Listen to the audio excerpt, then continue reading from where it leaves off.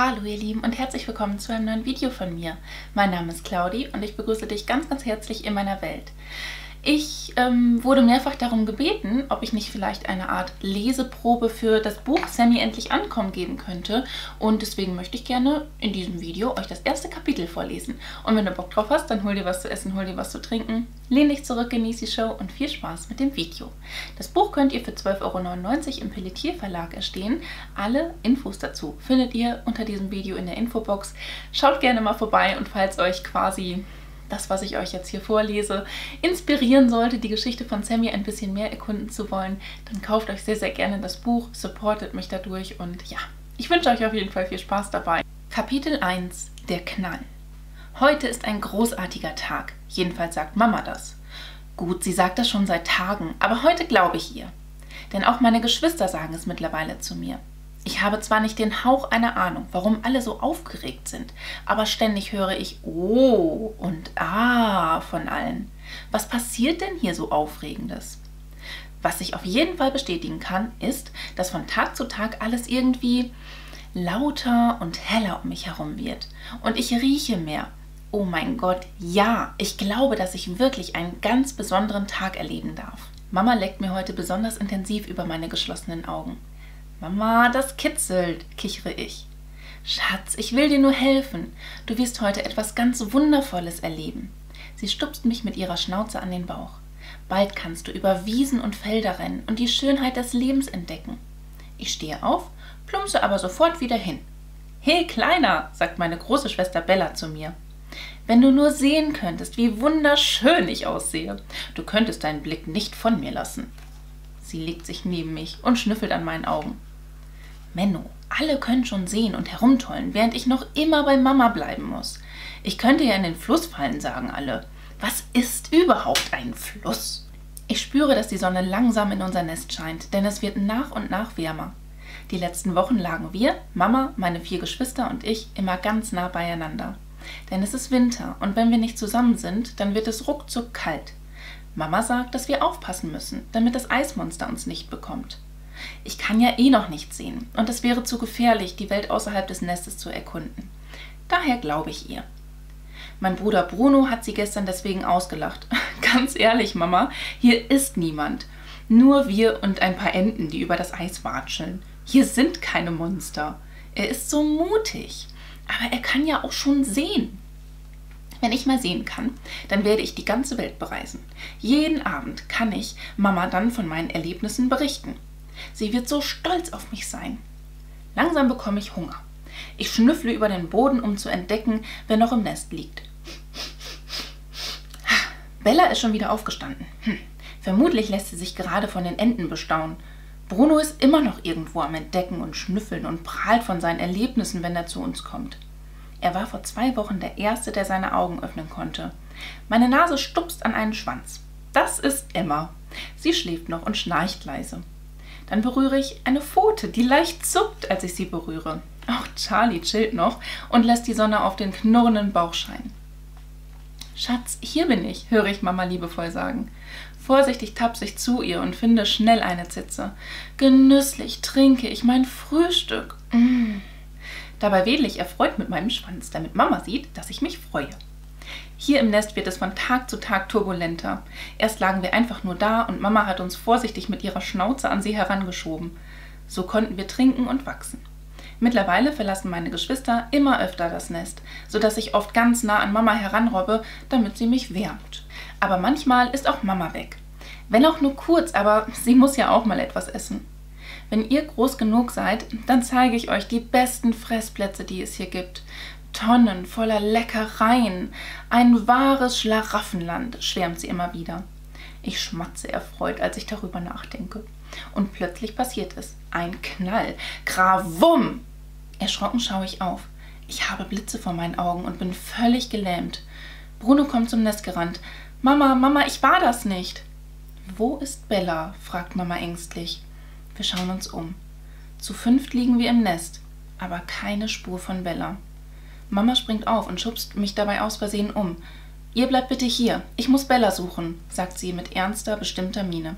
Niemand käme auf die Idee, ihr zu widersprechen. Winselnd sitzen wir im Nest, während Mama durch den Schnee rennt. Bella, Bella, Bella, ruft sie verzweifelt. Wir rücken ganz nah zusammen und mir kullert eine Träne die Wange runter. Selbst Bruno sieht verängstigt aus. Was ist denn passiert? fragt ihn Charlie. Hast du irgendwas gesehen? fragt Emma. Natürlich sind sie durch den lauten Knall wach geworden. Ich, ich weiß es nicht genau, sagt Bruno, der noch total außer Atem ist. Wir haben Schneeplumpsen gespielt. Ich war dran und sie sagte noch, dass ich sie dieses Mal sicherlich nicht finden werde. Oh mein Gott, ich hoffe nicht, dass sie sich den großen Schneehaufen ausgesucht hat. Ich reibe meine Augen und schaue ihn an. Welchen großen Schneehaufen meinst du? frage ich. Charlie reißt seine Augen weit auf. Es gibt da einen ganz großen Schneehaufen, in dem man sich super verstecken kann. Aber um da reinplumpsen zu können, muss man nach oben gehen. Auf die Brücke. Emma wirft sich auf die Seite und zieht ihren Schwanz ein. Sie zittert. Oh nein, dort oben dürfen wir nicht hin, winselt sie mit zittriger Stimme. Mamas Rufe nach Bella werden immer leiser und bibbernd schlafen wir langsam ein. Als ich wach werde, ist es schon Mittag. Mein Bauch sagt es mir, denn ich habe einen riesigen Hunger. Oh je, wie kann ich jetzt nur Hunger haben? Meine Schwester ist verschwunden und Mama ist nicht bei uns. Beschämt schaue ich in die Runde. Bruno sitzt aufrecht, aber noch in unserer Kuschelrunde.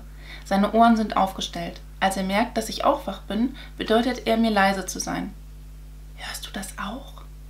Ja, das sind Schritte. Vorsichtig gehe ich an den Rand des Kartons, der unser Nest ist. Erst schnüffle ich, rieche jedoch nichts Unbekanntes. Okay, Sammy, jetzt reiß dich mal zusammen, murmle ich nur so laut, dass ich es selbst höre. Erst stecke ich nur meine Schnauze nach draußen. Die Schritte werden lauter. Langsam werden auch Emma und Charlie wach. Was macht der da? Ist der verrückt? höre ich meine Geschwister von hinten murmeln. Nun strecke ich auch meinen Kopf aus dem Karton und sehe sie. Mama, Sie trägt Bella in ihrer Schnauze, die schlaff herabhängt. Was habt ihr euch dabei gedacht? schnauzt Mama Bruno an. Ihr wisst doch, dass das Eismonster da draußen ist. Angst, Verzweiflung und Wut liegen in ihrem Blick. Bruno wagt es nicht, ihr zu widersprechen. Schuldbewusst starrt er auf Bella, die sich immer noch nicht bewegt, obwohl alle sie trockenlecken und vorsichtig anstupsen. Sie atmet schwach. Lasst sie uns wärmen, sagt Emma besorgt, mit Tränen in den Augen. So kuscheln wir uns ganz eng zusammen und schlafen ein. Plötzlich sind da weitere Knaller und Kracher, die uns aus dem Schlaf reißen. Mama sitzt bereits aufgeregt im Eingang. Es ist Silvester. Das Eismonster lässt es dann immer ganz besonders krachen, knurrt Mama. Mittlerweile glauben wir ihr, dass es das Eismonster gibt. Wir tapsen zum Eingang des Nestes und schauen in den Himmel. Er ist dunkel, weil es schon Abend ist, aber bunt? Mama, ist das immer so bunt? frage ich sie vorsichtig. Bei jedem Knall erschrecke ich mich erneut und zucke zusammen. Schatz, du hast deine Augen ja geöffnet. Erst jetzt fällt es auch mir auf. Klar, der Knall hat mich heute Morgen so sehr erschreckt, dass ich es gar nicht bemerkt habe. Mama lächelt und leckt mir liebevoll über mein Gesicht. Nein, Schatz, das ist nur einmal im Jahr. Ein furchtbarer Tag, an dem schreckliche Dinge passieren. Gedankenverloren schaut sie in den Himmel. Auf einmal hören wir ein leises Winseln aus der Ecke des Nestes. Mama, ruft Bella ganz schwach. Sofort gehen wir zu ihr. Es tut mir leid, ich wollte cool sein und von der Brücke in den großen Schneehaufen springen. Bellas Stimme versagt immer wieder, während sie leise flüstert. Plötzlich stand es vor mir, das Eismonster mit seiner ganzen Familie. Mama, sie haben eine Explosion gemacht und ich habe mich erschrocken. Bella winselt. Und deswegen bist du von der Brücke in den Fluss gefallen? fragt Mama besorgt. Bella nickt schwach. Während wir uns wieder in der Kuschelrunde wärmen, fasse ich einen festen Entschluss. Ich werde niemals Schneeplumpsen spielen, geschweige denn auf die Brücke gehen. Kein besonders schöner Tag, um die Augen zu öffnen, hm? fragt Charlie mich. Traurig schaue ich auf meine Pfoten. Nein, antworte ich bedrückt. Ja, ihr Lieben, das war jetzt das erste Kapitel von Sammy endlich ankommen. Es ist eine turbulente Geschichte, die sich selbstverständlich noch äh, sehr interessant weiterentwickeln wird. Und ähm, wie es weitergeht, kannst du halt herausfinden, wenn du ein einfach mal in das Buch reinliest. Hm?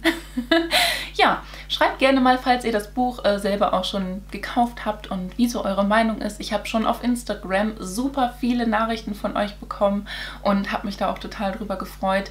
Über, über eure Reviews, über eure Einschätzungen. Tatsächlich mit sehr, sehr viel Lob. Also vielen, vielen Dank. Und ähm, ja, ich hoffe, dass ihr jetzt auch so ein bisschen mal sehen konntet, wie oder hören konntet vielmehr, wie mein Schreibstil so ist und äh, wie ihr euch ungefähr die Geschichte Sammy und seiner Familie vorstellen könnt. Das war es jetzt auch hier von mir. Schaut, wie gesagt, gerne in der Infobox vorbei, da habe ich euch alles soweit verlinkt. Und wenn euch mein Video gefallen hat, dann lasst mir doch sehr, sehr gerne einen Daumen nach oben da. Würde ich mich mega drüber freuen. Ansonsten wünsche ich dir einen wunderschönen Tag, einen wunderschönen Abend. Lass es dir ganz einfach gut gehen. Fühl dich ganz doll gedrückt von mir. Ich verlinke dir mal hier oben meine Playlist mit den ganzen Sammy-Videos. Ja, hier unten meinen neuesten Upload, auf dieser Seite noch ein Video von mir und hier oben kannst du, wenn du möchtest und es vielleicht noch nicht getan hast, mich sehr, sehr gerne einmal kostenlos abonnieren. Ich würde mich echt von Herzen drüber freuen. Lass es dir gut gehen und hoffentlich bis zum nächsten Mal. Ciao!